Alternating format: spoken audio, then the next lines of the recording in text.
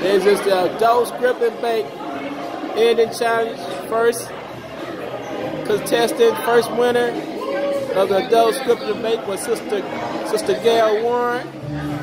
Runner up, Sister Taylor. Third runner, Sister Burt.